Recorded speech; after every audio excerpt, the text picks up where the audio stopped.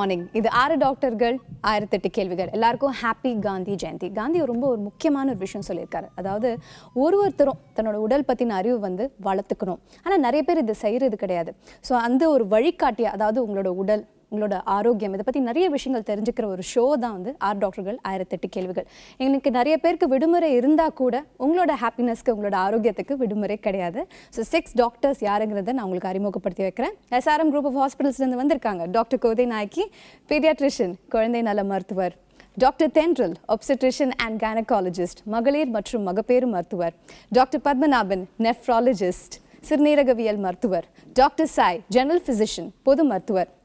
Doctor Sadiq Babu orthopaedician இளம்பியல் மருத்துவர் and course doctor Balamurugan general surgeon பொது அறுவை சிகிச்சை மருத்துவர் உங்களுக்கு தான் நம்பர் நல்லா தெரியும் ஆனாலும் மறுபடியும் சொல்லிடுறேன். பூஜ்ஜியம் நான்கு நான்கு நான்கு ஐந்து ஒன்பது ஆறு ஒன்பது நான்கு நான்கு நான்கு. இந்த எண்ணுக்கு கால் பண்ணீங்கன்னா இப்போவே லைவாக எங்கள் டாக்டர்ஸ் கிட்ட நீங்கள் கேள்விகள் கேட்கலாம். வணக்கம் இது ஆர் டாக்டர்கள் ஆயிரத்தி எட்டு கேள்விகள். வணக்கம் மேடம். நான் பால்ராஜ் பேசுறேங்க திருப்பூர் மாவட்டம். Good morning Balraj. சொல்லுங்க எந்த ஸ்பெஷலிஸ்ட் கிட்ட பேச குட் விரும்புறீங்க? மார்னிங் மேடம் அறுவை சிகிச்சை டாக்டர் கிட்ட பேசணுங்க தொடர்ந்து பேசுங்க. டாக்டர் பாலமுருகன் உங்களுக்கான ஆலோசனை கொடுப்பாரு. சொல்லுங்க சார் பாலமுரு டாக்டர் பாலமுருகன் டாக்டர் வணக்கம்ங்க. வணக்கம் சொல்லுங்க. சார் ஒரு நாலு நூத்தி இருபது நாளைக்கு முன்னாடி ஒரு ஆக்சிடென்ட்ல கால் கட் ஆகி போச்சுங்க. சரி. அது நான் வந்து நூறு நாளைக்கு பிறகு உங்களுக்கு ஃபோன் பண்ணிட்டு அந்த கா- அந்த கேட்க நீங்க செயற்கைக்கால் ஒன்று வச்சு நடங்க. வலி பெயின் குறையுமா வலிச்சது ஓவரா டாக்டர் சரி. இப்ப செயற்கைக்கால் ஒண்ணு மாதிரியான காலை வச்சு நடந்தணும் கொஞ்சம் மூவ் பண்ண வாக்கர் நடந்தணும் இப்ப ஸ்டெம்பிள் வச்சு நடக்கணும் டாக்டர் கொஞ்சம் வெயிட் வலி வந்துட்டே இருக்கு டாக்டர் சரி. அதுதான் உங்களுக்கு அப்புறம் மருத்துவத்துல ஏதாச்சும் சில சு- உறுப்புகள்லாம் மாத்திரம் சொல்ல ஹார்ட் மாத்துறாங்க சார் கை கால் இப்படி ஏதாச்சும் கால் கீழ் செயற்கை இயற்கையான கால் கீழ் வைக்க முடியுமா டாக்டர் ஏதாச்சும்? இது வந்து வந்து க- அந்த எலும்பு தேய்மானம் ஐ மீன் எலும்பு உங்களுக்கு இதானப்ப எலும்பு மாற்று அறுவை சிகிச்சை வேணா பண்ணியிருக்கலாம். ஒன்ஸ் கால் எடுத்ததுக்கப்புறம் திருப்பி காலெல்லாம் வந்து நம்ம சேர்த்து வைக்க முடியாது. இப்போ நிறைய வந்து உங்களுக்கு எலக்ட்ரானிக் முறையிலேயே வந்துட்டு உங்களுக்கு செயல்படுத்துகிற மாதிரி எல்லாம் வந்து செயற்கை கால்கள்லாம் நிறைய வந்திருக்கு. கொஞ்சம் எக்ஸ்பென்சிவாக இருக்கும் பட் அந்த மாதிரி கால்கள்லாம் வச்சுக்கிட்டிங்கன்னா உங்களுக்கு மூமெண்ட்லாம் வந்து ஃபெசிலேட் பண்ணுறதெல்லாம் ஈஸியாக இருக்கும். பட் நூற்றி இருபது நாள் அப்படிங்கிறது ஒரு குறைந்த எண்ணிக்கையான நாட்கள் தான். மினிமம் வந்து தொண்ணூறுலேருந்து நூற்றி இருபது நாள் வெயிட் பண்ணதுக்கப்புறம் தான் அந்த செயற்கை கால் வைக்கணும் உங்களுக்கு. பட் புண்ணு வந்து கொஞ்சம் ஆறலையோ இல்லைனா வந்து உங்களுக்கு அந்த ரணம் இருந்து இல்லை உங்களுக்கு அந்த கால் வந்து உங்களுக்கு வலி இருந்தது அப்படின்னா கொஞ்ச நாள் வெயிட் பண்ணி கூட அந்த செயற்கை கால் வைக்கலாம். முதல்ல கொஞ்சம் ஃபிசியோதெரப்பி கொடுத்து கொஞ்சம் அந்த மூமெண்ட்டை ஜாயிண்ட் எல்லாம் கொஞ்சம் ரிலாக்ஸ் பண்ணிவிட்டு அதுக்கப்புறம் செயற்கை கால் வச்சிங்கன்னா ஈஸியாக இருக்கும் ஓகே ஸோ கொஞ்ச நாள் டைம் கொடுத்து அப்புறம் நிறைய ஆப்ஷன்ஸ் நீங்கள் ட்ரை பண்ணி பார்க்கலான்றது தான் எங்கள் டாக்டரோட ஆலோசனை. வணக்கம் இது ஆர் டாக்டர்கள் ஆயிரத்தி எட்டு கேள்விகள். ஹலோ வணக்கம் நேர் உங்களோட பேர் என்ன? நான் என் பேர் வனஜா மேடம். எங்கேருந்து அழைக்கிறீங்க வனஜா? கடலூர்ல இருந்து பேசுறேன் மேடம். சொல்லுங்கம்மா எந்த டாக்டர் கிட்ட பேச விரும்புறீங்க. மகப்பேறு மருத்துவம். நிச்சயமா டாக்டர் தென்றல் உங்களுக்கான ஆலோசனை கொடுப்பாங்க. தொடர்ந்து பேசுங்க. சொல்லுங்க. ஹலோ? ஹலோ ஆ சொல்லுங்க வணக்கம். வணக்கம் மேடம். ஆ வணக்கம் சொல்லுங்க. நான் என் மகளுக்கு வந்து ஒரு மூணு மாசம் ஆகுது கன்சீவா இருக்கா. சரி. வாமிட்டிங் இருந்துகிட்டே இருக்கு. சரி. மயக்கமா இருக்கா? நி- நி- நிக்க கூட முடியல.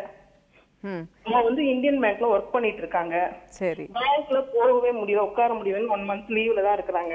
சரி. ரொம்ப வாமிட்டிங்கா இருக்கு. என்ன பண்ணலாம்? இல்லம்மா உங்களுக்கு வந்து வந்து மாத்திரை எடுத்துட்டு இருக்கா மாத்திரை எடுத்துட்டு இருக்காங்க ஆல்ரெடி எடுத்துட்டு இருக்காங்க மேடம் சரி வாமிட்டிங் எத்தனை முறை வருதுமா ஒரு நாளைக்கு?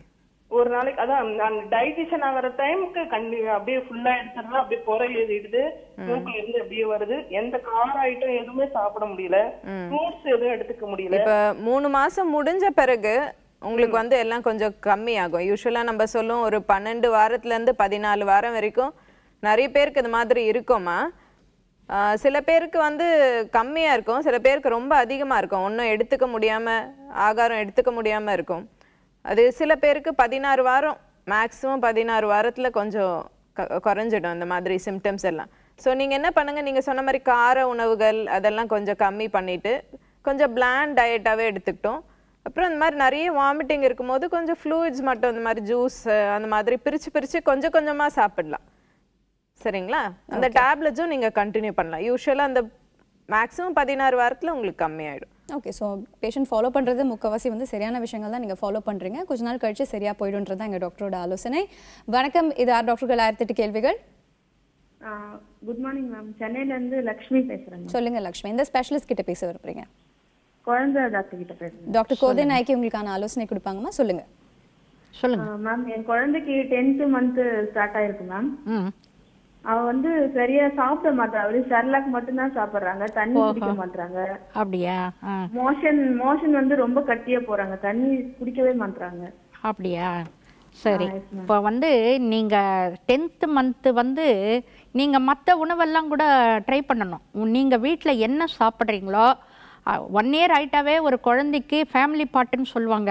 அதாவது நம்ம வீட்டில் சாப்பிட்ற உணவு அந்த குழந்தைக்கும் கொடுக்கணும். தனிப்பட்ட விதத்தில் நீங்கள் கடையிலிருந்து டின்னில் வர ஐட்டம்ஸ் எல்லாம் வாங்கி தரணும்னு அவசியம் கிடையாது. நீங்கள் என்ன பண்ணலாம்? நீங்கள் சாதம் இதெல்லாம் மசிச்சு கொடுக்கலாம். அதுலேயே கொஞ்சம் பருப்பு சேர்த்து கொடுக்கலாம். நெய் டென் மந்த்ஸ் ஆயிட்டதுனால நீங்கள் சாதம் பருப்பு நெய் போட்டு கொடுக்கலாம். அதுக்கப்புறம் கஞ்சி மாதிரி கொஞ்சம் மாற்றி மாற்றி ரவை கஞ்சி பண்ணி கொடுக்கலாம். சில கஞ்சி தினுசுங்க இருக்குது அது வந்து எந்த குழந்தை மருத்துவர் கேட்டாலும் சொல்லுவாங்க. அந்த மாதிரி ராகி கோதுமை எல்லாம் சேர்ந்த பொட்டுக்கடலை சேர்ந்த கஞ்சி இருக்குது அது காய்ச்சி கொடுக்கலாம். ஓரளவுக்கு இந்த கடையில் இருக்கிற டின்னு ஃபுட்டு விட்டுட்டிங்கனாவே மோஷன் சரியாக போகும். தண்ணி கொடுங்க. மற்றபடிக்கு நீங்கள் சாதாரண உணவு ஆரம்பிச்சிடுங்க. நீங்கள் சாப்பிட்ற உணவு ஆரம்பிச்சிடுங்க. கூட உட்கார வச்சு சாப்பிட வைங்க. மோஷன் சரியாக போகும். ஓகே ஃபைன் ஸோ ஃபேமிலி சாப்பிட்றது தான் குழந்தை சாப்பிடலான்றது தான் எங்கள் டாக்டரோட ஆலோசனை. வணக்கம். இது ஆர் டாக்டர்கள் ஆயிரத்தி எட்டு கேள்விகள். இது முடிஞ்ச உடனே அடுத்தது நீங்க தான் அப்படின்னு ஹலோ ஹலோ சொல்லுங்க. உங்க பேர் என்ன? கெமிலா. ஓகே பிரமிளா. எங்கேருந்து அழைக்கிறீங்க? பழைய இந்த தூத்துக்குடி சொல்லுங்க கேமிலா. எந்த நேர்கிட்ட எந்த டாக்டர் கிட்ட பேச விரும்புறீங்க? எலிபியன் டாக்டர்கிட்ட பேசணும். ஓகே டாக்டர் சாதிக் பாபு உங்களுக்கான ஆலோசனை கொடுப்பாங்க. த- தயக்கம் இல்லாம தொடர்ந்து பேசுங்க. சார் எனக்கு இந்த தொடர்ந்து பேசுங்க கேமிலா. சுவர்ல இதாகிட்டுங்க அந்த ஒரே கனமா இருக்குது. உடம்பு கனமா இருக்குது. அதுக்கு என்ன சேர்ந்தது கேட்கேன் ஓகே நீங்க பேசுறது புரியலமா கொஞ்சம் நிதானமா ஸ்லோவா சொல்லுங்க. உங்களோட ப்ராப்ளம் என்ன சொல்லுங்க. தலையில மண்டை கனமா இருக்குது. அஹ், மண்டை கனமா இருக்குது. அப்புறம் உடம்பு மெலி உடம்பு கனமா இருக்குது. நடக்க முடியல. அப்படி இருக்குது இருக்குங்க ஓகே சரிங்கம்மா. இது எத்தனை நாளாக இருக்கு உங்களுக்கு? இப்போ ஒரு ஒரு ரெண்டு இந்த பிப்ரவரில இருந்து இருக்கு. அப்படிங்களா? ம். இதோட சேர்த்து உங்களுக்கு இந்த கனமாக இருக்குன்னு சொல்கிறீங்களே அதோட சேர்த்து உங்களுக்கு கை கால் ஏதாவது மரத்து போன மாதிரி அப்படி ஏதாவது தொந்தரவுகள் இருக்கா? இல்ல அப்படிலாம் இல்ல. அந்த கனமா இருக்குது. கை நட நடக்க முடியல. உடம்புலாம் கலந்து போயிருக்கு. ஆஹா.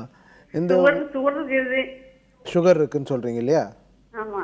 சரிங்கம்மா. இது வந்து உங்களுக்கு இந்த வாய் வாய்ஸ் வந்து ஒரு மாதிரி கொளருது. அது அது உங்களுக்கு ப்ராப்ளமாக இருக்கா? இல்லை இயல்பாக இப்படி தான் பேசுவீங்களா?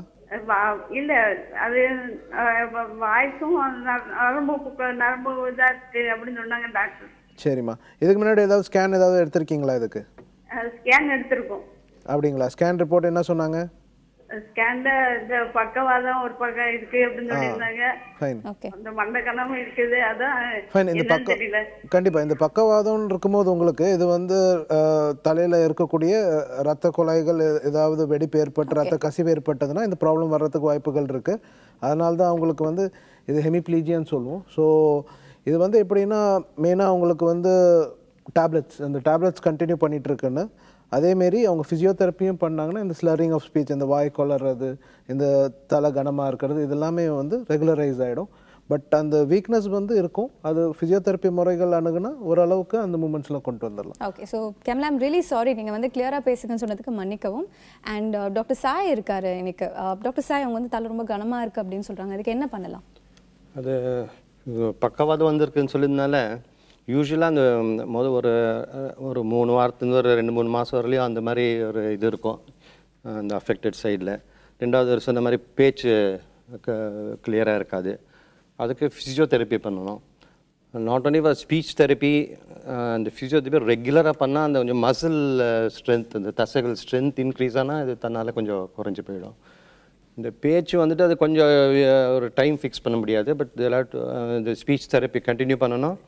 அண்ட் போக போக சரியாயிடுங்க ஓகே ஸோ அந்த வாய்ஸ் இதான் அகெயின் கொஞ்சம் வேற எதனா ப்ராப்ளம் இருக்கான்னு கொஞ்சம் பார்க்கணும். தைராய்டு ப்ராப்ளம் இருக்கு. அது கூட இந்த மாதிரி ரொம்ப டயர்ட்னஸ் இதெல்லாம் வரும். கொஞ்சம் தைராய்டு ஃபங்க்ஷன் கொஞ்சம் அசஸ் பண்ணணும் ஓகே ஃபைன் ஸோ நிச்சயமாக அது சரியாக போயிடும். அண்ட் கேமரா நீங்கள் ஷோவில் கால் பண்ணி நீங்கள் சரியான பிறகு நீங்கள் நிச்சயமாக எங்களுக்கு கால் பண்ணி சொல்லணும். வணக்கம். இது ஆர் டாக்டர்கள் ஆயிரத்தி எட்டு கேள்விகள். ஹலோ ஹலோ வணக்கம் நே சொல்லுங்கள் வணக்கங்க. மதுரை திருமங்கலத்துல இருந்து பிச்சை பேசுறேங்க. சொல்லுங்க எந்த டாக்டர் கிட்ட பேச விரும்புறீங்க? சிறுநீரகத்தை பத்தி பேசுறேங்க. ஓகே டாக்டர் பத்மநாபன் உங்களுக்கான ஆலோசனை கொடுப்பாங்க. உங்க பிரச்சனை என்னன்னு சொல்லுங்க. சொல்லுங்க சார் சொல்லுங்க. பத்துமணா சார் வாங்க சார். சொல்லுங்க. சார் இரவு பகல்லையும் ஒரு மணி நேரத்துக்கு ஒருக்கா யூரின் வந்துக்கிட்டே இருக்குங்க சரிங்க. சுகர் வந்து நூத்தி அறுபது இருக்குங்க சார். ஓகே நைட்ல எல்லாம் படுத்தா நாலு வேட்டி வருதுங்க சார். சரிங்க. நான் பஸ்ல ஓட்டுநரா இருக்கேன். அங்க ஒரு மணி நேரத்துக்கு மேல தாங்க முடியல. ஒன்று வந்துட்டே இருக்கு. இல்லை நீங்கள் வந்து உங்கள் யூரின் போகிறது உங்கள் கண்ட்ரோல் இல்லாத பகல்லையே ரொம்ப அர்ஜென்ட்டாக வருதுங்களா? பகல்ல வந்து முக்கால் மணி நேரம் ஐம்பது நிமிஷம் தான் சார். ஓகே. உங்களுக்கு என்ன வயசாகுதுங்க இப்போ? வயசு ஐம்பத்தஞ்சாவது ஐம்பத்தஞ்சாவது நீங்கள் ஒன்று முதல்ல நீங்கள் உங்கள் ப்ராஸ்டேட் கிளாண்டு நீர் பாதையில் சத வளர்ச்சி இருக்கான்னு ஒரு ஸ்கேன் பண்ணி பார்த்துடுங்க. ஒன்று ரெண்டாவது வந்து இரவு நேரத்தில் அடிக்கடி தூக்கம் க கெட்டு போகிற அளவுக்கு அடிக்கடி யூரின் பாஸ் பண்ணுறதா இருந்தால் இரவு எட்டு மணிக்கு மேலே தண்ணி ரொம்ப குடிக்கிறத அவாய்ட் பண்ணுங்கள் யூரின் பாஸ் பண்ணிட்டு வந்து ஒரு டம்ளர் தண்ணி குடிச்சா மறுபடியும் இருந்து யூரின் போக வேண்டியதாக இருக்கும். அதனால் இரவு நேரத்தில் இதை கட்டுப்படுத்த முடியும். பகல் நேரத்தில் இருக்கிற யூரின் கண்ட்ரோல் இல்லாத இருக்கிறதுக்கு நீங்கள் ஒரு அல்ட்ராசவுண்ட் கிட்னி அல்ட்ராசவுண்ட் எடுத்து பிளாடரில் போகிற பாதையிலேருந்து சத வளர்ச்சி இருக்கா இல்லையான்னு பார்க்கணும். அந்த ஸ்கேன் எடுத்து பார்த்தா தான் உங்களுக்கு அந்த பகல் நேரத்தில் இருக்கிற அன்கண்ட்ரோல்டு யூரினேஷனை நீங்கள் டெஸ்ட் பண்ண முடியும். ரெண்டாவது நீங்கள் வந்து சர்க்கரை நோய் ரத்த கொதிப்பு இருக்குங்களா? சக்கரை வந்து நூத்தி அறுபது இருக்கு நூற்றி அறுபது நூற்றி அறுபது இஸ் ஓகே கால் வீக்கம் என்ன இருக்குங்களா? அப்படியெல்லாம் இது இல்லை ஓகே ஸோ நீங்கள் செய்ய வேண்டியதெல்லாம் உங்கள் சிறுநீரக test urea creatinine ultrasound scan பண்ணிட்டாங்களா அந்த நீர் பாதையில் சத வளர்ச்சி இருக்கும். அதை மட்டும் நீங்கள் டெஸ்ட் பண்ணி பார்த்துட்டா போதும். வேறு எதுவும் தேவையில்லை. ஓகே ஸோ இந்த மாதிரி தான் பேசி நிறைய விஷயங்கள் தெரிஞ்சுக்கலாம். ஒரு சின்ன பிரேக்கு பிறகு எங்களோட சிக்ஸ் டாக்டர்ஸை நீங்கள் சந்திக்கலாம்.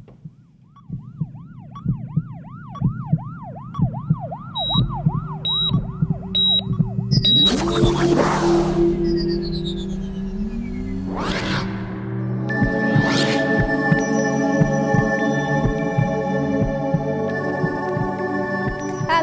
வெல்கம் பேக் இது ஆறு டாக்டர்கள் ஆயிரத்தெட்டு கேள்விகள். உங்களை ஸ்பெஷலாக பார்த்துக்கிறதுக்காக சிக்ஸ் ஸ்பெஷல் டாக்டர்ஸ் இங்கே இருக்காங்க. எங்களோட சிக்ஸ் ஸ்பெஷல் ஸ்பெஷல் டாக்டர்ஸ் கிட்ட பேச பூஜ்ஜியம் நான்கு நான்கு நான்கு ஐந்து ஒன்பது ஆறு ஒன்பது நான்கு நான்கு நான்கு. இந்த எனக்கு கால் பண்ணுங்கன்னா இப்போவே லைவாக நிறைய கொஸ்டின்ஸ் கேட்கலாம். பட் எனக்கும் ஒரு கொஸ்டின் இருக்குது டாக்டர் பத்மநாபன் இப்போ வந்து கிட்னியில் வர டிசீசஸ் வந்து ஸ்கின்ல வந்து ஏதாவது சிம்டம்ஸ் ஏதாவது தெரியுமா? எப்படி கண்டுபிடிக்கலாம்? இன்ஃபேக்ட் நீங்கள் சிறுநீரக பாதிப்பு நோயாளிகள் எடுத்துக்கிட்டிங்கன்னா அந்த சிறுநீரக நோய் ஸ்டேஜ் ஒன்லேருந்து ஸ்டேஜ் ஃபைவ் போகும்போது பார்த்திங்கன்னா அது அதிகமாக அதிகமாக அந்த ஸ்கின் ப்ளூரைட்டிஸ் நமைச்சல் தோல் நமைச்சல் அதிகமாகிட்டே இருக்கும். இன்ஃபேக்ட் டயாலிசிஸில் இருக்கிற பேஷண்ட் நீங்கள் எடுத்தீங்கன்னா முப்பதுலேருந்து நாற்பது பர்சன்ட் டயாலிசிஸ் பேஷண்ட்டுக்கு அந்த நமைச்சல் ப்ரிவேலன்ஸ் இஸ் வெரி ஹை அதுக்கு முக்கியமான காரணம் வந்து ஸ்கின்னில் இருக்கிற sweat gland கம்மியாகி dry skin skin dryness parathyroid gland ஒரு கிளாண்ட் கழுத்தில் இருக்குது அந்த கிளாண்டோட ஹைப்பர் ஆக்டிவிட்டி மூணாவது விட்டமின் டி முக்கியமான விட்டமின் டி சிந்தசிஸ் கிட்னி தான் பண்ணுது. ஸோ இந்த விட்டமின் டி டெஃபிஷியன்சி பேராதைராய்ட் கிளாண்டோட ஹைப்பர் ஆக்டிவிட்டி ட்ரை ஸ்கின் இந்த மூணும் சேர்ந்து ஒரு intractable itching in severe kidney disease பேஷண்ட்டுக்கு வருது. நாங்கள் அதுக்கு முக்கியமாக பேஷண்ட் அட்வைஸ் பண்ணுறது ரொம்ப காஸ்டிக் சோப் யூஸ் பண்ணாத soft soap especially moisturising agent ஈரப் தன்மை உள்ள சோப்ஸு ஸ்கின் சாஃப்ட் க்ரீம்ஸ் மேலே அப்ளை பண்ணி கொஞ்சம் ஸ்கின்னை மாய்ஸ்டாக வச்சுக்கிறது. அண்ட் விட்டமின் டி டேப்லெட்ஸ் டயட்டில் அந்த மீட் இறைச்சி பொருட்களை கம்மி பண்ணுறோம் அதிலெல்லாம் பாஸ்பேட் நிறைய இருக்குது இந்த பாஸ்பேட் வந்து அந்த பேராதைராய்ட் கிளாண்டை ஸ்டிமுலேட் பண்ணி ரொம்ப இதுவாகுது. அண்டு சன்லைட் எக்ஸ்போஷர் ரொம்ப cheap and best for vitamin D அதுவும் முக்கியமான முக்கியமாக உதவும். அதனால் itching is a very big problem in severe kidney failure and even stage one டூவில் கூட சிலருக்கு உண்டு. அவர்கள் இந்த மாதிரி ஹேபிட்டை மாற்றி ஸோ இந்த மாதிரி தான் எங்கள் டாக்டர்ஸ் கிட்ட நீங்கள் நிறைய கேள்விகள் கேட்கலாம். வணக்கம் இது ஆர் டாக்டர்கள் ஆயிரத்தெட்டு கேள்விகள். ஹலோ வணக்கம். நேர் உங்களோட பேரு? ராஜா பேசுறேன் மேடம் சென்னையில இருந்து. சொல்லுங்க ராஜா இந்த டாக்டர் கிட்ட பேச விரும்புறீங்க. ஆமா ஜாயிண்டிஸ் டாக்டர் கிட்ட பேசுறேன் madam. Okay doctor Sadiq Babu உங்களுக்கான ஆலோசனை கொடுப்பாங்க தொடர்ந்து பேசுங்க. சார் குட் மார்னிங் சார் நான் சென்னையில இருந்து பேசுறேன். குட் மார்னிங் சார் இப்போ வந்து நம்ம ரிலேஷனுக்கு வந்து ஹெப்படைட்டிஸ் பின்ட்டு ஒரு ஜாயிண்டிஸ் வந்திருக்கு சார் அவங்களுக்கு. ஓகே. இது என்ன ரீசன் எதனால சார் வருதுக்கு ஓகே மன்னிக்கவும் டாக்டர் சாய் இதற்கான ஆலோசனை கொடுப்பாங்க டாக்டர். ஓகே உங்களுக்கு என்ன என்ன வயசாகுதுங்க? Twenty three sir twenty three இப்போ சமீபத்தில் எதனா ஆப்ரேஷன் இல்லைப்பனா இந்த பிளட் டிரான்ஸ்ஃபியூஷன் என்ன கொடுத்துருக்காங்களா? இல்ல சார் ஒன்றும் இல்லை. ஏன்னா பொதுவாக இந்த ஹெப்படைட்டிஸ் பின்னுறது அது ஒரு வைரல் ஃபார்ம் ஆஃப் ஜாண்டிஸ் அது வந்துட்டு இந்த மாதிரி இதில் தான் பை சம் கான்டாக்ட் இந்த மாதிரி ஆப்ரேஷன் பண்ணாலோ இல்லை பண்ணால் பிளட் டிரான்ஸ்ஃபியூஷன் பண்ணும்போது ப்ராப்பராக ஸ்க்ரீன் பண்ணாமல் பண்ணால் அது வரக்கூடிய வாய்ப்பு இருக்குங்க. ரைட் பேரண்ட்ஸ் ஹலோ இல்லை அது அதனால இல்லைங்க. பேரண்ட்ஸ்னால இருக்கிறது அந்த மாதிரி ஜெனட்டிக் இதில் வராதுங்க அது. ஏன்னா அவங்க பேரண்ட்ஸ்க்கு வந்து ரெப்பரேட்ஸ் ஏ வந்து குழந்தையில வந்து இருக்கும்போது தான். அதனால மேபி வந்திருக்கலாம். இல்லை இருக்காதுங்க. அந்த ரெண்டாவது இந்த ஹெப்படைட்டிஸ் ஏன்னுறது இருக்கிற அந்த அஞ்சு வகையில் அதுதான் ரொம்ப சாதாரணமாக ஒரு ட்ரீட்மெண்ட் இல்லாமல் குணமாகிற வியாதிங்க. ஸோ அதில் ஒன்றும் இன்னும் க்ரானிக்காக இருக்காது. தொடர்ந்து இருக்காது. ஒரு மூணு வாரம் ஒரு மாதத்தில் ஹெப்படைட்டிஸ் ஏ சரியாக போயிடும். ஸோ ஹெப்படைட்டிஸ் பி பேரண்ட்ஸ்னால வந்ததுன்னு அப்படி இருக்காதுங்க. ஓகே இது ஒரு தவறான விஷயம். அண்ட் டாக்டர் பத்மநாபன் கூட இன்னைக்கு இருக்காரு நம்மளோட டாக்டர் ஹெப்படைட்டிஸ் பி ரொம்ப அதிகமாக காணப்படுகிறது. அதற்கு முன்னெச்சரிக்கை சார் சொன்ன மாதிரி முன்னெச்சரிக்கை ரொம்ப முக்கியம். இப்போது அதுக்கு நல்ல உன்னதமான மருந்துகளும் இருக்குது இப்போது. அவங்க முதல்ல ஹெப்படைட்டிஸ் பி வைரஸ் டென்சிட்டி பிளட்டில் எவ்வளோ இருக்குன்னு பார்க்கணும். ஹெச்பிவி டிஎன்ஏன்னு டெஸ்ட் இருக்குது அந்த டெஸ்ட் பண்ணிவிட்டு அதில் ஒரு ஒரு கோடி காப்பி இருந்ததுன்னா அந்த காப்பீஸை ட்ரீட் பண்ணி அது குறையுதான்னு பார்க்கலாம். அதனால் நீங்கள் உடனே ஒரு மெடிக்கல் கேஸ்ட்ரோ என்ட்ராலஜிஸ்ட் லிவர் டாக்டரை பார்த்து அந்த ஃபர்தர் டெஸ்ட் பண்ணணும். பாசிட்டிவ்னா சும்மா இருக்கணும் அவசியம் இல்லை. நீங்கள் ஃபர்தராக HPV DNA HP IgM anti ஹெச்பிசின்னு ஒரு நாலு டெஸ்ட் இருக்குது அதை பண்ணிட்டீங்கன்னா அதுக்கு நிச்சயமாக க்யூர் பண்ண வேண்டிய ட்ரீட்மெண்ட் முறைகள் இருக்குது அதனால் அதை தயவுசெய்து அதை யூஸ் பண்ணுங்கள் அது பண்ணலைன்னா தான் பிற்காலத்தில் லிவர் ப்ராப்ளம் வேறு ப்ராப்ளம்லாம் வர வாய்ப்பு இருக்குது அதனால் அதற்கு உண்டான மருந்துகள் நிறைய இருக்குது. உடனே நீங்கள் ஒரு மெடிக்கல் கேஸ்ட்ரோஎன்ட்ராலஜிஸ்ட் ஒரு லிவர் ஸ்பெஷலிஸ்ட்டை பார்த்து ஃபர்தராக அந்த காப்பீஸ் எத்தனை இருக்குது அதனுடைய எவ்வளோ வைரஸ் கிருமிங்க ரத்தத்தில் ஊறி இருக்குன்னு பார்த்துட்டு அதுக்கு உண்டான ட்ரீட்மெண்ட்டை ரெகுலராக எடுத்து முடிக்கணும். ஓகே ஸோ டெஸ்ட் நிறைய அவைலபிளாக இருக்குது எவ்வளோ இன்டென்ஸாக இருக்குன்றது நீங்கள் தெரிஞ்சுக்க இந்த டெஸ்ட் எடுக்கிறது அவசியன்றது தான் எங்கள் டாக்டரோட ஆலோசனை. வணக்கம் இதா டாக்டர்கள் ஆயிரத்தி எட்டு கேள்விகள். ஹலோ வணக்கம் நேர் உங்களோட பேர்? பேர் சந்திரசேகர். எங்கேருந்து அழைக்கிறீங்க? கோயம்புத்தூர். ஓகே சந்திரசேகர் ஒரு சின்ன ரிக்வெஸ்ட் டிவி வால்யூம் குறைச்சா நல்லா இருக்கும். அண்ட் எந்த டாக்டர் கிட்ட பேச விரும்புறீங்க? ஓகே டாக்டர் பத்மநாபன் உங்களுக்கான சொல்லுங்க, ஆலோசனை. சொல்லுங்க. சிறுநீரத்தை கல் இருக்குன்னு டாக்டர் சொன்னாங்க. சரிங்க. அதுக்கு வாழைத்தண்டு சாப்பிடுங்க இப்போ ஃபைவ் பாயிண்ட் எம்எம் இருக்குன்னாங்க. ஓகே. வாழைத்தண்டு சாப்பிடுனாங்க வாழைத்தண்டு டெய்லி சாப்பிட்டா சாப்பிட கூடாது அப்படிங்கிறாங்க. ஆஹா. அதுக்கு தான் இல்லை வாழைத்தண்டு வாழைத்தண்டு ஜூஸ் வாழைத்தண்டு ஒரு காய்கறி ஒரு ஃபைபர் ஒரு நார் பதார்த்தங்கள் சாப்பிடும்போது நல்லது கிட்னி ஸ்டோனுக்கு அந்த ஜூஸ் சாப்பிட்றதுனால எந்த பலனும் கிடையாது. ஒன்று ரெண்டாவது உங்களுக்கு இதுதான் முதல் எபிசோடா? கிட்னி ஸ்டோன் வர்றது இதான் முதல் முறையாக டயக்னோஸ் பண்ணுறாங்களா ஆமா ஆமா இது அஞ்சு புள்ளி அஞ்சு ஸ்டோன் ஸ்டோன் வந்து இறங்கிடுதுங்களா இல்லை கிட்னிலே இருக்குன்றாங்களா?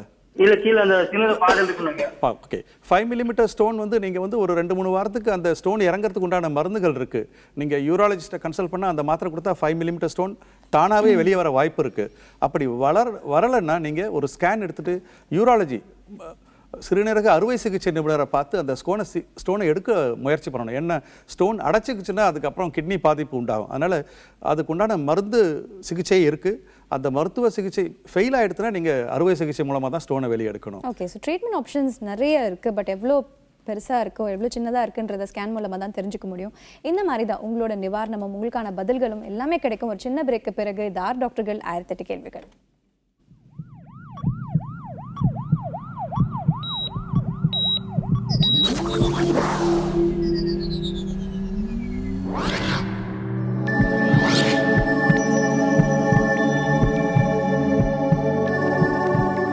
வெல்கம் பேக் இது ஆறு டாக்டர்கள் ஆயிரத்தெட்டு கேள்விகள். லைவா இப்போ உங்களோட ஹெல்த் உங்களோட ஆரோக்கியம் பற்றி தான் நாங்கள் பேசிட்டு இருக்கோம். பூஜ்ஜியம் நான்கு நான்கு நான்கு ஐந்து ஒன்பது ஆறு ஒன்பது நான்கு நான்கு நான்கு. இந்த எனக்கு கால் பண்ணுங்க. இப்போவே எங்கள் டாக்டர்ஸ் கிட்ட நீங்கள் பேசலாம். வணக்கம். இது ஆறு டாக்டர்கள் ஆயிரத்தெட்டு கேள்விகள். வணக்கம் நேயர். லைன்ல இருக்கீங்கன்னு. தெரியுது. டிவி வால்யூம் ப்ளீஸ் கம்மி. சரிங்க. டிவி வால்யூம் கொஞ்சம் கம்மி பண்ணுங்க. சொல்லுங்க. இப்போ சொல்லுங்க. உங்களோட. பேர் என்ன? பூபதி மேடம். எங்கேருந்து அழைக்கிறீங்க பூபதி? கோயம்புத்தூர்ல இருந்து அழைக்கிறேன் மேடம். சொல்லுங்க எந்த டாக்டர் கிட்ட பேச விரும்புறீங்க? மேடம் எனக்கு ஃபைல்ஸ் மாதிரி இருக்கு மேடம். ஓகே. சொல்லுங்க என்ன என்ன பிரச்சனை இருக்கு. உங்களுக்கு? வணக்கம் சார் குட் மார்னிங் சொல்லுங்க. சார் எனக்கு ஃபைல்ஸ் மாதிரி இருக்கு சார் ஒரு வாரமா. என்ன என்ன பண்ணுது உங்களுக்கு? ரத்தப்போக்கு இருக்குங்களா? இல்ல வலி இருக்கா? இல்ல சார் பிளட் மோஷன் போகக்குள்ள பிளட் மோஷனோட பிளட் வருது சார் சேர்ந்து வருதுங்களா? ஆமா சேர்ந்து வருது சார் வலி இருக்குங்களா? மோஷன் போகும்போது? எரிச்சல் இருக்கு சார். எரிச்சல் வலி இருக்கு சார். சரி ஓகே ரொம்ப கஷ்டப்பட்டு போறீங்களா? ஆமா சார் ரொம்ப கஷ்டமா இருக்கு. எரிச்சல் பயங்கரமா இருக்கு சார். லெஃப்ட் டாய்லெட்லயே மயக்கம் அடிச்சு விழுந்துற மாதிரி இருக்கு சார். ரொம்ப கஷ்டமா இருக்கு சார். ஒரு வருஷம் ஒரு ஒரு வாரமாவே ரொம்ப சார். ஓகே. இந்த இது வந்து வந்து பைல்ஸ் மாதிரி இல்லை. நீங்கள் சொல்கிறது எமராய்ட்ஸ் மாதிரி இல்லை. இது வந்து ஃபிஷர் அப்படின்னு சொல்லுவோம். அதாவது ஆசன வாயில கீரல் விழுந்திருக்கும். ரொம்ப ம மலச்சிக்கல் ஏற்பட்டு ரொம்ப மோஷன் ஃபோர்ஸாக போனீங்கனாலும் சரி இல்லை மலச்சிக்கல் ஏற்பட்டு ரொம்ப முக்கி போனீங்கனாலும் அது ரொம்ப சாஃப்டாக இருக்கும். அந்த ஏனல் கெனால் அந்த ஆசன வாய்ங்கிறது அது கிழித்து உங்களுக்கு வந்து ஒரு ரணம் ஆகிருக்கும் அந்த இடம்.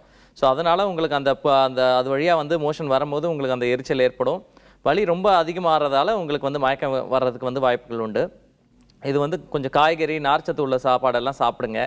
கொஞ்சம் மலம் வந்து ரொம்ப தண்ணியாக இருக்க மாதிரியோ இல்லை செமிசாலிடாக இருக்க மாதிரியோ பார்த்துக்கோங்க. அதுக்கப்புறம் அகண்ட பாத்திரம் எடுத்துகிட்டு அதில் சுடுதண்ணி நிரப்பி கொஞ்சம் ஆன்டிசெப்டிக் சொல்யூஷன்ஸ் போட்டு அதில் ஒரு மோஷன் போகிறதுக்கு முன்னாடி ஒரு இருபது நிமிஷம் உட்காருங்க. மோஷன் போயிட்டு வந்து ஒரு பத்து நிமிஷம் உட்காருங்க. இதெல்லாம் வந்து நிரந்தர தீர்வு கிடையாது உங்களுக்கு. ஓரளவு வந்து வலியையும் அந்த புண்ணையும் வந்து ரணத்தையும் ஆத்துறதுக்காக. ஸோ அதுக்கும் மே மேற்படியும் உங்களுக்கு வந்து இந்த வலி இருந்துக்கிட்டே இருக்குது மயக்கம் ரொம்ப அதிகமாகுது. உங்களால் கண்ட்ரோல் பண்ண முடியலைன்னா அறுவை சிகிச்சை செஞ்சு அந்த ஸ்பிங்டரை வந்து கொஞ்சம் ஓப்பன் பண்ணி விட்டோம்னா உங்களுக்கு அந்த ஆசன வாய் கொஞ்சம் விரிவடையும். விரிவடைஞ்சதுன்னா உங்களுக்கு அந்த ப்ராப்ளம் சரியாகும். ஓகே ஸோ இவ்வளோ வலி இவ்வளோ கஷ்டத்தில் இருக்கிற நீங்கள் நிச்சயமாக டாக்டர் சொன்ன ஆலோசனையை மறக்காதீங்க. வணக்கம் இதா டாக்டர்கள் ஆயிரத்தெட்டு கேள்விகள். ஹலோ வணக்கம் நேர் வணக்கம் மேடம் ஆரணிலேருந்து ராஜா பேசுறேன். Good morning Raja. சொல்லுங்கள் எந்த டாக்டர் கிட்ட பேச விரும்புறீங்க? திருநூறு டாக்டர் பேசுறேன். நிச்சயமா. சொல்லுங்க. டாக்டர் பத்மநாபன் உங்களுக்கான ஆலோசனை கொடுப்பாங்க. தொடர்ந்து பேசுங்க. சார் வணக்கம் சார். சொல்லுங்க. சார் எனக்கு இருபத்தஞ்சு நாளைக்கு முன்னாடி லெஃப்ட் சைடு கிட்னி வந்து ரிமூவ் பண்ணேன் சார். அதாவது கிட்னி வீக்கமா இருக்கு அப்படின்ட்டு. சரிங்க. அது பண்ணி முடிஞ்ச பிறகும் வயித்துல கேஸ் ட்ரபிள் இருக்குன்னு அந்த கேஸ் கிளியர் ஆக மாட்டேங்குது. அப்புறம் என்னுடைய லெஃப்ட் சைடு கால் வந்து வீக்கமா இருக்கு. நடந்தாச்சுன்னா வீக்கமாகுது. ஓகே. சொல்லுங்க. எனக்கு வந்து கேஸ் ட்ரபிளும் இருக்குன்னு சொல்லிட்டு செக் பண்ணி பார்த்து அப்போ அல்சர் இருக்குன்னு சொன்னாங்க. ஓகே. சரி நேர் உங்களோட கேள்வி என்னன்னு சொல்லுங்க. அல்சருக்கு டேப்லெட் சாப்பிட்றீங்க இந்த கால் வீக்கமும் அந்த கேஸ் ட்ரபிளும் சரியாகுதுங்க ஓகே. நீங்க இந்த கிட்னி ஆபரேஷன் பண்ணி பத்து நாள் ஆகுதுங்களா? இல்ல சார் இருபத்தஞ்சு நாள் மேல இருபத்தி நாள் ஆகுது. இப்போ வெளிக்கிற நல்லா போறீங்களா? டாய்லெட் நல்லா போறது ஆனா ஜீரணம் சரியா ஆகுறது கிடையாது ஓகே பரவாயில்ல. கால் வீக்கம் ரெண்டு கால்லையும் இருக்குங்களா? ஒரு காலில் மட்டும் இருக்குங்களா? இல்ல சார் ஒரே ஒரு கால் மட்டும் லெஃப்ட் சைடு கால் மட்டும் தான் இருக்கு. ஓகே சரிங்க. பரவாயில்ல. நீங்க கிட்னி ஃபங்க்ஷன்ஸ் எல்லாம் டெஸ்ட் பண்ணி பார்த்தாங்களா? சர்ஜரி ஆபரேஷனுக்கு அப்புறம்? இல்ல சார் அதுக்கப்புறம் செக் பண்ணி பார்க்கல கிட்னி எடுத்தது உண்டான காரணம் என்னங்க? எதுக்காக கிட்னி எடுத்தாங்க? அடப்பு இருந்துன்னு எடுத்தாங்களா? எப்படி? அதாவது சார் லெஃப்ட் சைடு கிட்னி வந்து வீக்கமா இருக்கு. அது காரணம் வந்துட்டு அந்த யூரின் இறங்குற பைப் வந்துட்டு பிளாக் இருக்குன்னு சொன்னாங்க சார் சரி.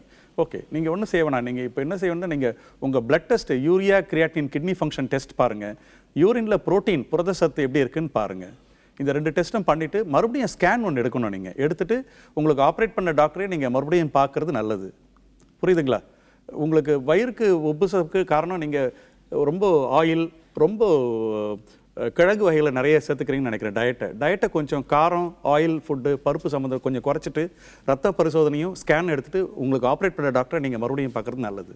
ஓகே ஸோ டயட் மாடிஃபிகேஷன்ஸ் பண்ணலாம் பட் டாக்டரை பார்க்குறது ரொம்பவே அவசியம்ன்றது எங்கள் டாக்டரோட ஆலோசனை. வணக்கம் இது ஆர் டாக்டர்கள் ஆயிரத்தி எட்டு கேள்விகள். ஹலோ ஹலோ சொல்லுங்க உங்களோட பேர் என்ன? மேடம் நான் வேலுச்சேரியில இருந்து ரோஸ்லின் பேசுறேன். குட் மார்னிங் ரோஸ்லின் சொல்லுங்க. Good morning good morning madam எனக்கு வந்து இப்போ கைனகாலஜி கிட்ட பேசணும். நிச்சயமா கிட்டத்தட்ட ஒரு ஃபைவ் இயர்ஸா எனக்கு வந்து பாத்தீங்கன்னா பீரியட்ஸ் ஆகும்போது கிளாட் கிளாட்டா தான் போயிட்டு இருக்கும் ஆனா ஓவர் பெயின் அந்த டூ டேஸ் பாத்தீங்கன்னா ரொம்ப பெயினா இருக்கும். ஓகே அது டோன்ட் every வரி month- ரோஸ்லின் டாக்டர்? தென்றல் உங்களுக்கான ஆலோசனை கொடுப்பாங்க. டாக்டர் சொல்லுங்க. சொல்லுங்க good morning madam good morning இப்போ வந்து என்னன்னு கேட்டீங்கன்னா அது ரெகுலரா டூ டேஸ்ல இருந்துட்டு இருந்துச்சு. ஆனா நார்மலா அது ஸ்டாப் ஆயிடும் ஆட்டோமேட்டிக்கா. இப்போ எனக்கு வந்து த்ரீ மந்த்ஸ் வந்து பீரியட்ஸ் வரவே இல்லை. எனக்கு ஏஜ் ஃபார்ட்டி சிக்ஸ் ஆச்சுங்க இப்போ எனக்கு லாஸ்ட் சிக்ஸ் இயரா பாத்தீங்கன்னா நான் ஸ்டாப்பா போயிட்டே இருக்கு. அதாவது ரொம்ப கிளாட் கிளாட்டா சிக்ஸ் டேஸா என்னங்க? எத்தனை நாளா போயிட்டு இருக்கு? இப்போ வந்து இன்னைக்கு இன்னைக்கோட சிக்ஸ் டேஸ் ஆச்சுங்க. சிக்ஸ் டேஸும் நான் ஸ்டாப்பா போயிட்டு இருக்கு சரி. இப்போ டாக்டரை மீட் பண்ணேன். சரி. அவங்க வந்து டிராபிக்னு ஒரு இன்ஜெக்ஷன் ஐவில கொடுத்தாங்க. சரி. அதுக்கப்புறம் டேப்லெட்டும் கொடுத்துருக்காங்க. டேப்லெட் கொடுத்தும் இன்ஜெக்ஷன் போட்டும் இப்ப ஸ்டாப் ஆகவே இல்ல. சரி இப்ப வரைக்கும் எனக்கு அப்படியே தான் இருக்கு அஹ் இதுக்கு மேற்கொண்டு என்ன மேடம் பண்ணலாம்?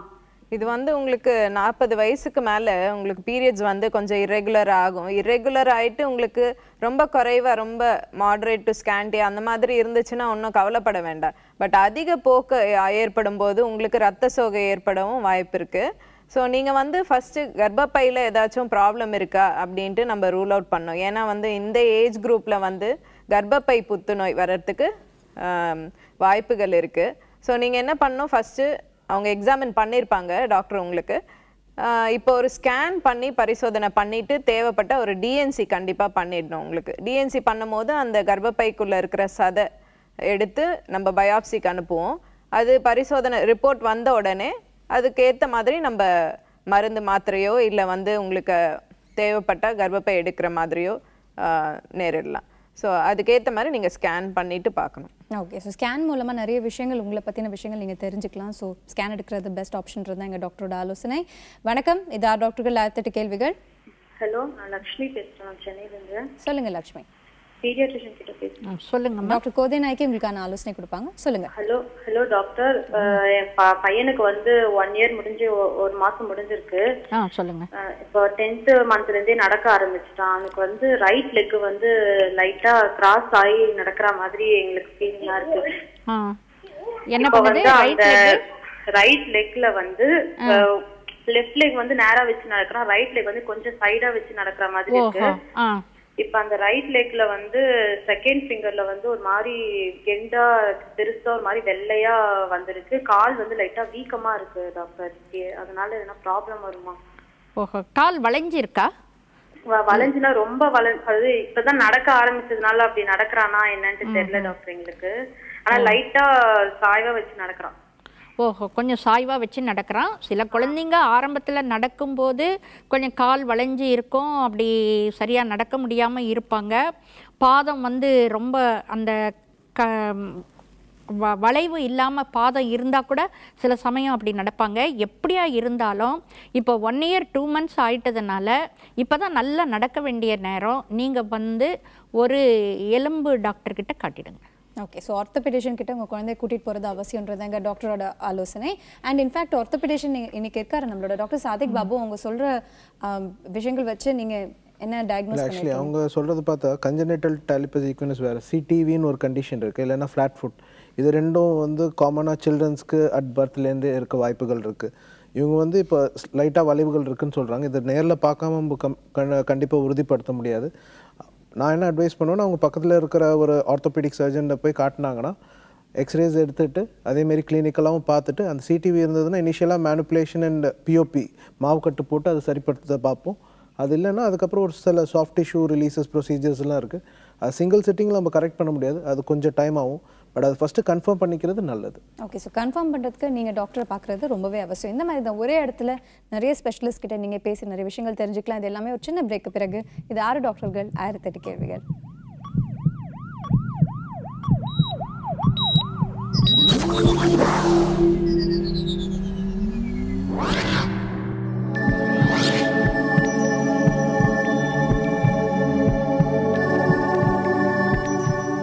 வணக்கம் அண்ட் வெல்கம் பேக் இது ஆறு டாக்டர்கள் ஆயிரத்தெட்டு கேள்விகள். உங்களோட ஃபேமிலி உங்களோட ஃபேமிலி மெம்பர்ஸோட ஹெல்த் அனலைஸ் பண்ணுறதுக்கு எங்கள் டாக்டர்ஸ் கிட்ட நீங்கள் நிறைய கேள்விகள் கேட்கலாம் நிறைய விஷயங்கள் தெரிஞ்சுக்கலாம்.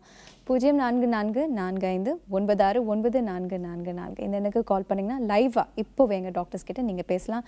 நீங்கள் நிறைய கேள்விகள் கேட்குறீங்கன்னு தெரியும். ஸோ எனக்கும் ஒரு கேள்வி இருக்குது இப்போ நிறைய குழந்தைகள் வந்து ப்ளே கிரவுண்டில் போய் மண்ணில் போய் நல்லா ஆட்டம் போட்டு வீட்டுக்கு வருவாங்க. ஸோ அவங்களுக்கு எப்படி நம்ம கேர் எடுத்துக்கலாம்? எப்படி அவங்கள ஹைஜீனிக்காக வச்சுக்கலாம்? ஸ்கின் ப்ராப்ளம்ஸ் ஏதாவது வருமா டாக்டர் டெஃபினட்டாக குழந்தைங்க மண்ணில் விளையாடி புரண்டு விளையாடிட்டு வரும்போது டெஃபினட்டாக அவங்களுக்கு வந்து தோலில் சிரங்கு வரும். அதாவது ஸ்கேபிஸ்ன்னு சொல்லுவாங்க.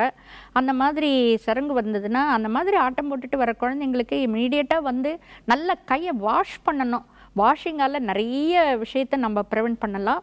அது போக அந்த மாதிரி கையில் நகை விரல் இடுக்கலெல்லாம் தான் ஸ்கேபிஸ்ன்ற அந்த கிருமி வ வரும்.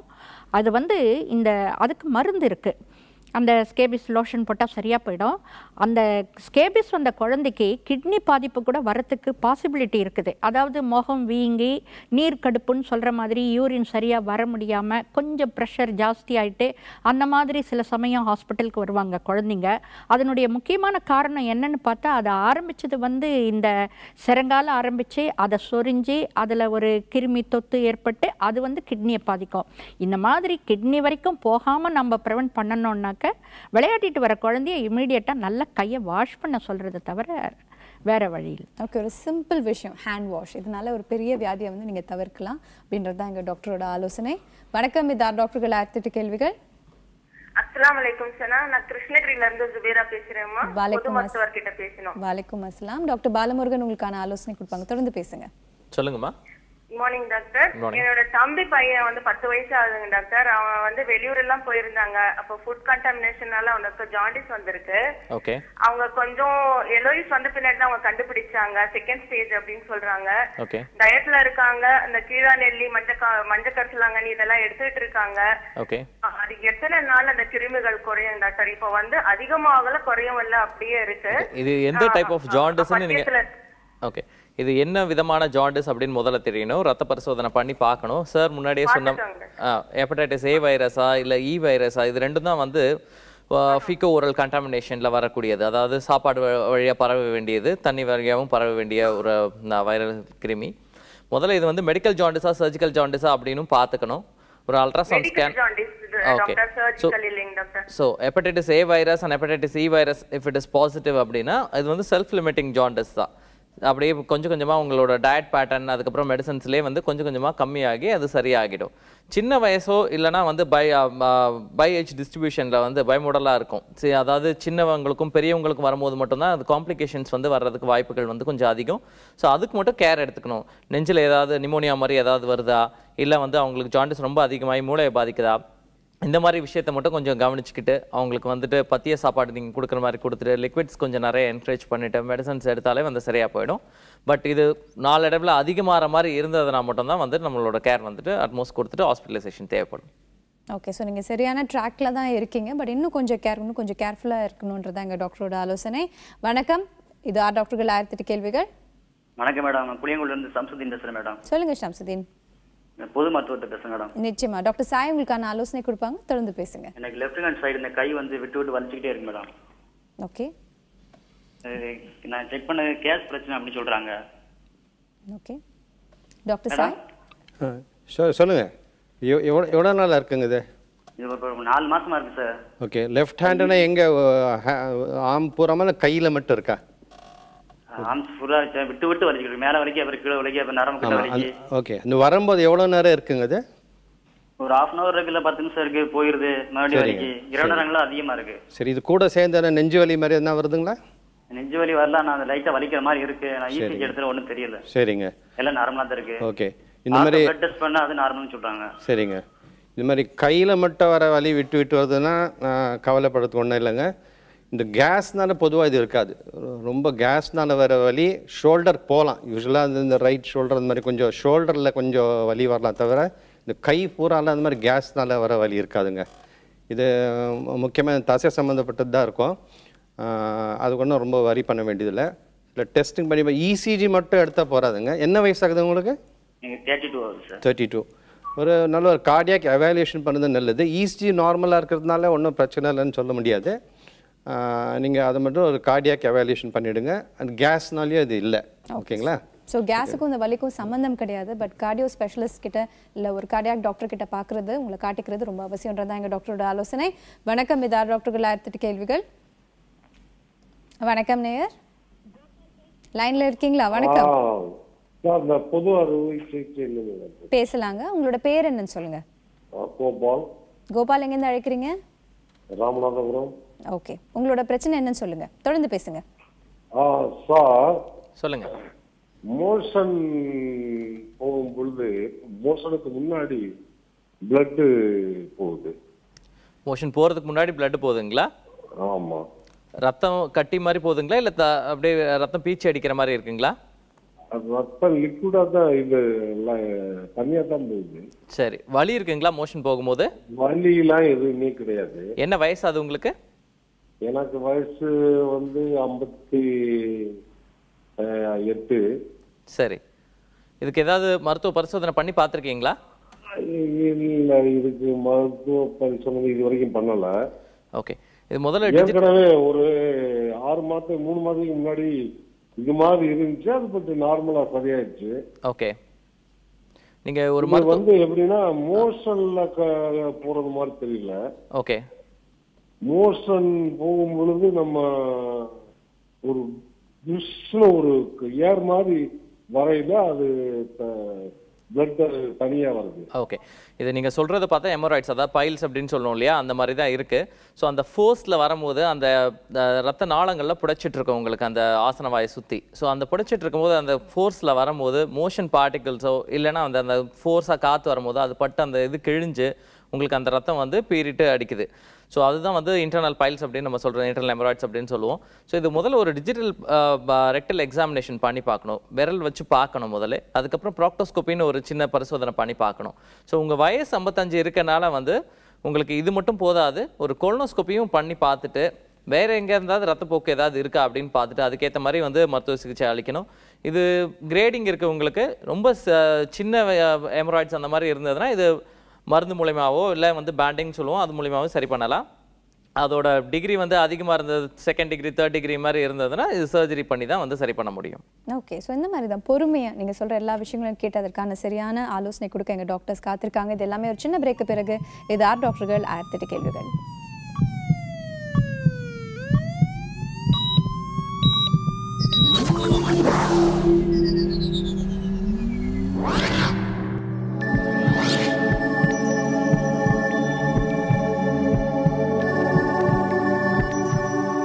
நிறைய டாக்டர்ஸ் கிட்ட நீங்கள் கேட்க முடியாத நிறைய விஷயங்கள் நிறைய கேள்விகள் மனசு விட்டு தைரியமாக எங்கள் சிக்ஸ் ஸ்பெஷலிஸ்ட் எங்களோட சிக்ஸ் டாக்டர்ஸ் கிட்ட நீங்கள் கேட்கலாம். வெல்கம் இது ஆர் டாக்டர்கள் ஆயிரத்தெட்டு கேள்விகள். பூஜ்ஜியம் நான்கு நான்கு நான்கு ஐந்து ஒன்பது ஆறு ஒன்பது நான்கு நான்கு நான்கு. இந்த எனக்கு கால் பண்ணினா இப்போவே லைவாக எங்களோட சிக்ஸ் ஸ்பெஷலிஸ்ட் கிட்ட நீங்கள் தாராளமாக பேசலாம். வணக்கம். இது ஆர் டாக்டர்கள் ஆயிரத்தெட்டு கேள்விகள். Hello madam. வணக்கம். மகேஸ்வரி சென்னையிலேருந்து பேசுகிறேன் மேடம். சொல்லுங்க மகேஸ்வரி. குழந்தை டாக்டர்கிட்ட பேசுகிறேன் மேடம். டாக்டர் கோதை நாய்க்கு உங்களுக்கான ஆலோசனை கொடுப்பாங்க. தொடர்ந்து பேசுங்க. சொல்லுங்கம்மா ஹலோ டாக்டர்?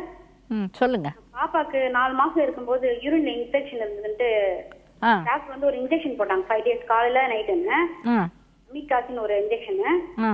அது கம்ப்ளீட் முடிஞ்ச உடனே ஒரு சிரப் கொடுத்தாங்க பேக்டீன் சிரப்புன்னு. ஆ சரி. அது த்ரீ மாசம் மூணு மாசம் வரைக்கும் கண்டினியூ பண்ணுங்க சொல்லிட்டாரு. மூணு மாசம் கண்டினியூ பண்ணுங்க அப்படின்னாரு. பாப்பாக்கு வந்து ஆறு மாசம் கம்ப்ளீட் ஆயிடுச்சு. இப்போ என்ன மேடம் கொடுக்கலாம் பாப்பாக்கு? என்ன கொடுக்கலான்னா என்ன உணவு என்ன ஆமாங்க மேடம் இந்த யூரின் இன்ஃபெக்ஷன் கம்ப்ளீட்டாக சரியாயிடுச்சிங்களா? அதாவது யூரின் டெஸ்ட் எடுத்து பார்த்தாங்க. எடுத்து பார்த்து நிறைய இன்ஃபெக்ஷன் இருக்குன்னு சொல்லிட்டு இன்ஜெக்ஷன் போட்டாங்க. அதான் சொன்னீங்க. மறுபடியும் ட்ரீட்மெண்ட் முடிஞ்ச பின்னாடி ஒரு தடவை யூரின் பண்ணி பார்த்தீங்களா? அது தேவையில்லைன்னு சொல்லிட்டாங்க சார். தேவையில்ல யூரின் டெஸ்ட் தேவையில்ல. ஸ்கேன் மட்டும் ஒன்னு எடுத்து பார்க்க சொன்னாங்க கிட்னி ஸ்கேனு ஆண் குழந்தையா பெண் குழந்தையா? ஆண் குழந்தையா பெண் குழந்தையா? பெண் குழந்தை மேடம் ஆ சரி பெண் குழந்தை. ம். அதுக்கு கிட்னி ஒன்னு எடுத்து சொன்னாங்க ஸ்கேனு ம். அது நார்மலா இருக்குன்னு வந்துருச்சு. ம். அந்த சிறப்பு மட்டும் மூணு மாசம் கண்டினியூ பண்ணுங்க. இனிமேல் வராம இருக்கிறதுக்கு அப்படின்னு சொல்லி இப்போ என்ன பேக்டீரியம் சிறப்பா என்ன சிறப் சொன்னீங்க? பேக்டீரியம் பேக்டீரியம் பேக்ட்ரிம் ஆ பேக்டீரியம் அது வந்துமா நீங்கள் சரி பரவாயில்ல. அது கொடுத்துட்டீங்க. நீங்கள் அதாவது இந்த சிறுநீர் இன்ஃபெக்ஷன் எல்லாம் அவ்வளோ சீக்கிரத்தில் சரியாகாது. அது வந்து திருப்பி திருப்பி வந்துட்டே இருக்கும். நீங்கள் ஒரு தடவை வந்திருந்தா கூட மறுபடியும் ஒரு கல்ச்சர் பண்ணி அது கம்ப்ளீட்டாக போயிடுச்சான்றத பார்க்கணும்.